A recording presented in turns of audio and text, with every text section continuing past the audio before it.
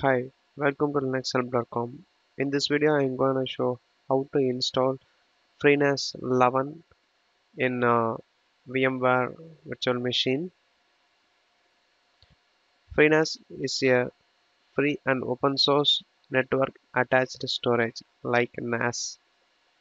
It is a software based on FreeBSD. It's just like a storage server.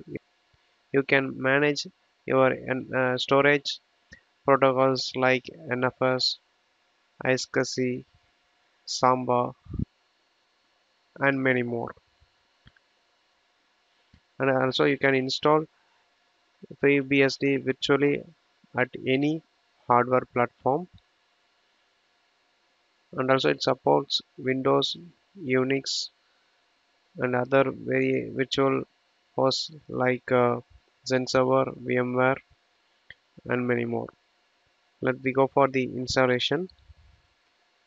I'm going to install this on uh, VMware Workstation 12.0 go to edit virtual machine settings I already configured the basics requirements of uh, this FreeNAS installations can give minimum 4 GB for testing purpose recommended is 8 GB and you can give hard disk size depends upon your disk capacity and select the ISO image where you are located from your server.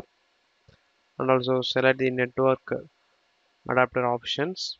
After that click ok to complete. Now i'm going to power on this virtual machine. Just click this power on this virtual machine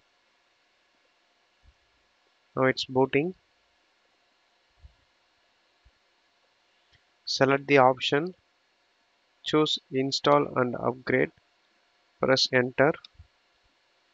Now select the hard disk size.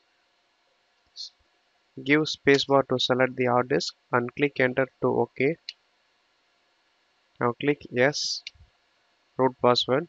Enter the root password for FreeNAS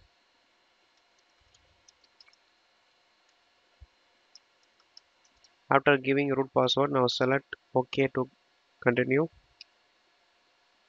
Now choose the booting option. I am going to choose boot via BIOS. This installation will take some time until you have to wait. Now the installation got completed. Click ok to reboot. Select reboot system. Press enter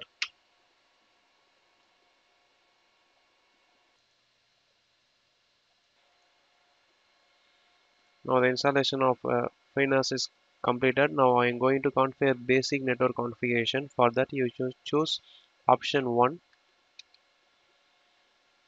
press 1 and press enter to continue. Press no. Again choose no. Now configure IPv4 press Y. Now give any interface name. I am going to give EM1 press enter. Now enter the IP address. I'm going to give my static IP sorry 168.7.207 press enter. And also I'm going to specify my net mask here itself. Press enter if you want to configure IPv6 means you can proceed with yes option. Here I am not going to configure IPv6 so choose option N and press enter. The network is, is restarting. After restarted my web user interface for FreeNAS is shown here. I am going to use this IP to access FreeNAS through web interface. Now enter your FreeNAS IP address to access FreeNAS through web interface press enter.